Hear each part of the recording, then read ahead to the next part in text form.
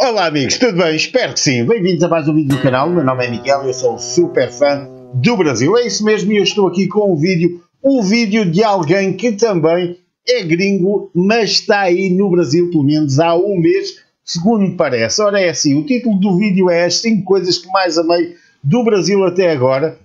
Um, é de um canal de um jovem que é mexicano, bora falar espanhol mas neste caso ele vai falar português e vai nos explicar as 5 coisas que ele mais amou no primeiro mês de Brasil. Eu não sei se ele se mudou para aí ou se simplesmente está aí a visitar, a conhecer, mas o que é certo é que ele já tem algumas opiniões formadas acerca do Brasil e é isso que nós vamos conhecer. Mas antes disso, inscreva-se no canal, deixe o seu like e, claro, deixe a sua super sugestão.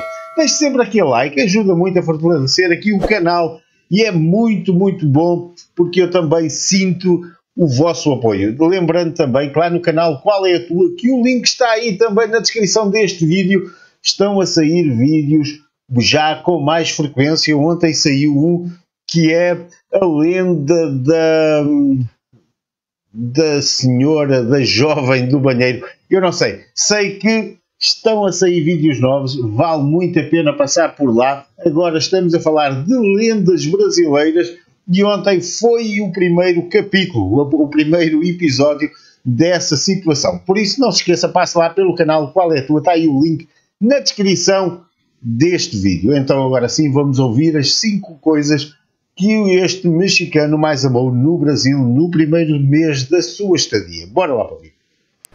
No vídeo de hoje eu quero falar sobre as 5 coisas que eu mais amei do Brasil até agora. Eu falo até agora porque faz um mês que eu cheguei aqui no país e eu tenho certeza que eu vou gostar de outras coisas. Então, número 1. Um, a característica que eu, mais, que eu acho mais interessante do Brasil é a questão da língua. O Brasil é o único país da América Latina que fala português. Então, isso torna o país único. O Brasil é um país único, um país diferente do resto dos países da América Latina. Se eu fosse brasileiro, eu sentiria muito orgulho disso, de ter nascido no único país da América Latina que fala português. Já dizia Ariano Suassuna que nunca abandonaria o seu país e que jamais iria falar outra língua a não ser o português. Por que será que Ariano Suassuna, um homem super inteligente, gostava tanto assim e defendia tanto assim o seu português do Brasil? Não sei, se calhar tinha muito, muito orgulho em falar português e sabia de antemão que, é assim, poderia não ter sido colonizado pelo melhor país do mundo, mas certamente bem melhor que ser colonizado por Espanha, que na altura não deixava ninguém vivo. Atenção, meus amigos, porque Portugal fez muitas atrocidades, eu sei disso na colonização, mas é assim, a Espanha era bem pior nesses tempos. Bom, mas isso agora não interessa nada, vamos lá continuar a ouvir o que é que este jovem nos tem para dizer sobre o Brasil. Primeira coisinha, ele já falou que é a língua portuguesa e um país maravilhoso que é o Brasil. Então, é, eu acho que muitas pessoas não valorizam esse fato de ser o único país da América Latina que fala português. Número 2. O brasileiro é um povo muito curioso é quando eu vou em alguma loja, ou quando estou no Uber, ou quando estou no restaurante, as pessoas percebem que eu não sou brasileiro, por causa do meu sotaque. Meu sotaque é muito forte. Então as pessoas ficam curiosas e, e acabam fazendo a pergunta que todo mundo faz: Você é da onde? Aí eu respondo: Ah, eu sou do México. E, e também pergunto para eles: Você conhece o Chaves? Eles respondem sim. Ah, então eu sou do país do Chaves, né? Então aí as pessoas ficam muito curiosas. O brasileiro é um povo muito curioso que gosta de saber, é, é, gosta de perguntar. Eu gosto que, que façam perguntas para mim. Eu amo responder perguntas, então. É, eu acho interessante isso. É uma curiosidade boa, porque a, o brasileiro realmente quer saber é, sobre a pessoa, de que país é brasileiro gosta muito de estrangeiros, eu já percebi isso. Número 3, as comidas. É, eu tenho que confessar que, que, eu sinto saudades das comidas do meu país, porque as comidas do meu país são muito temperadas, tem muita pimenta. Aqui no Brasil as comidas não têm pimenta, não são tão temperadas quanto a comida mexicana, mas eu não posso reclamar da comida brasileira. A comida brasileira é muito gostosa. É, aqui vocês têm coisas que, que a gente não tem no México, por exemplo, o açaí, tapioca, cuscuz, é, panetone. Bom, no México tem panetone, né? Mas não é, não é tão comum quanto aqui no Brasil.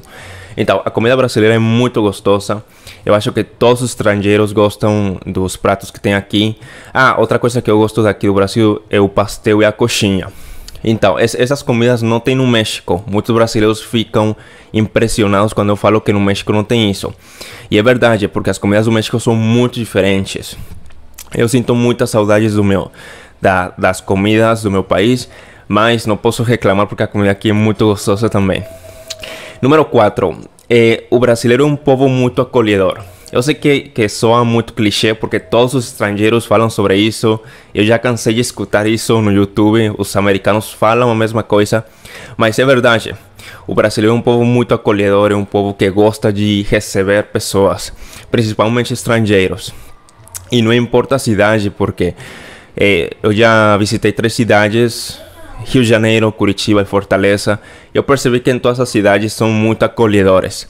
Falam que em Curitiba as pessoas são muito frias, mas eu não achei isso. Eu achei que são reservadas, mas eu não achei frias porque elas, elas também são. Eh, elas me receberam bem, eh, fizeram perguntas para mim. Principalmente no Uber, eu conheci dois caras, dois motoristas de Uber muito simpáticos, muito legais em Curitiba fizeram perguntas para mim, ficaram curiosos sobre o México. Então eu acho que isso é uma questão do Brasil. O Brasil é um povo muito acolhedor em geral, gosta de receber pessoas. É, é um, é um país que recebe muito bem as pessoas, é, os estrangeiros.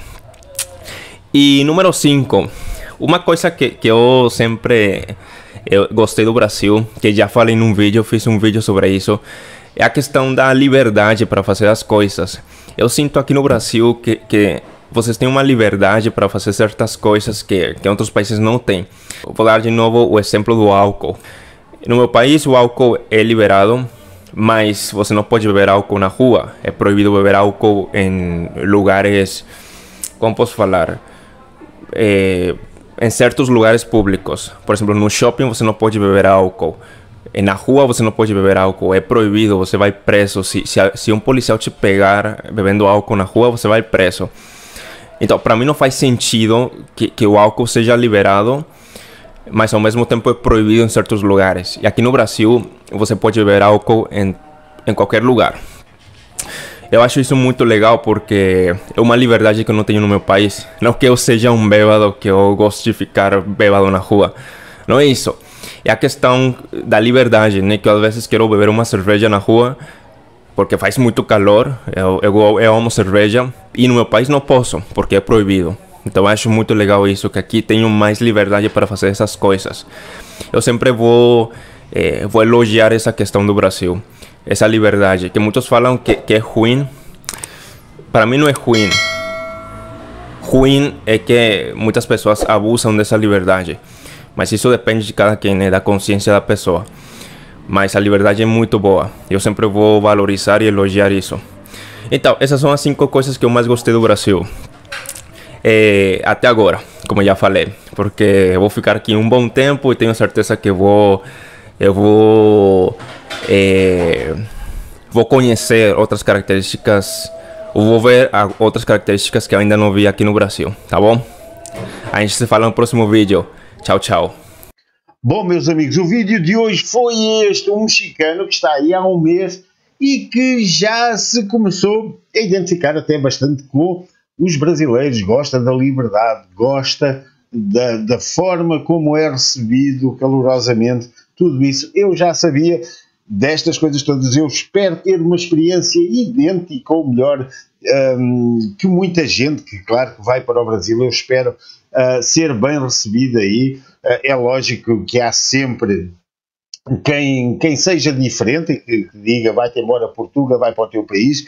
Eu, eu, é assim, eu tolero, tolero, tolero essas coisas todas, porque é, o ser humano é mesmo assim, nem todos estão satisfeitos, nem todos gostam de estrangeiros, nem todos querem pessoas uh, de outras nacionalidades aí. É lógico, às vezes, sendo portugueses, a, a, a, como é que eu ia dizer? Aproxima, mas muitas das vezes também afasta algumas pessoas. Mas isso logo se verá na, na altura correta. Gostei muito do testemunho dele, sim senhores. Pois é, comida mexicana tem muita pimenta, pimenta muito piripira, é muito picante em relação ao Brasil, mas a do Brasil é muito boa, principalmente pelo aquilo que eu conheço, que tenho muitas pessoas, hum, como eu já disse, conhecidas e muita gente com quem eu convivi, tive o prazer de conviver com muita gente e partilharmos alguns momentos aí de culinária uh, e mesmo, mesmo muito bom, e outras pessoas tinham restaurantes uh, brasileiros com comida excelente. Sem dúvida,